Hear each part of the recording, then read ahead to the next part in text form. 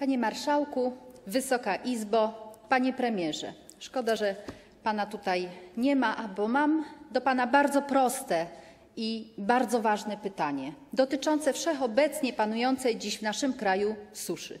Proszę powiedzieć jasno i wyraźnie, co zrobił Pan i Pana ministerstwa w sprawie zmniejszenia jej skutków. Wszak rozumiem, że miał Pan prognozy o zbliżającej się dramatycznej sytuacji, bo e- ekolodzy alarmowali o tym przynajmniej od kilku miesięcy. A od lat Wy tylko pięknie mówicie na ten temat i na tym się kończy.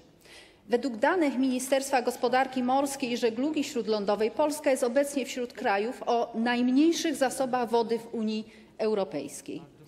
A minister Ardanowski mówi wprost: Od nas zależy, ile będzie żywności na polskim rynku. Liczy się każda kropla wody, której tak mamy mało. Może jej również zabraknąć dla potrzeb komunalnych, do jedzenia, do utrzymania zwierząt. I w sumie można byłoby się z tym zgodzić, tylko to są znów tylko słowa.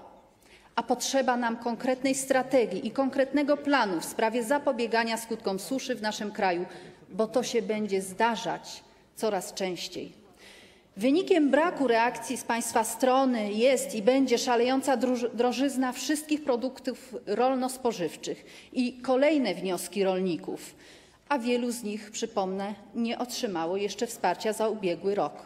Po kryzysie pandemii przyjdzie nam zmierzyć się niestety z jeszcze większym ekologicznym kryzysem, który swoje skutki będzie miał w wielu obszarach życia społeczno-gospodarczego naszego kraju, a Wy zajmujecie się wyborami zamiast tym, co tak drastycznie dotyka nasz kraj i jego obywateli. W imieniu klubu Lewicy ostrzegam Pana i wnoszę, by pilnie zająć się tematem stanu suszy w naszym kraju, bo sama ustawa o zakazie wypalania traw nie wystarczy. Potrzeba konkretów i odważnych decyzji. Zachęcam Pana do tego, bo inaczej słowo PiS zostanie zapamiętane jako skrót pandemia i susza.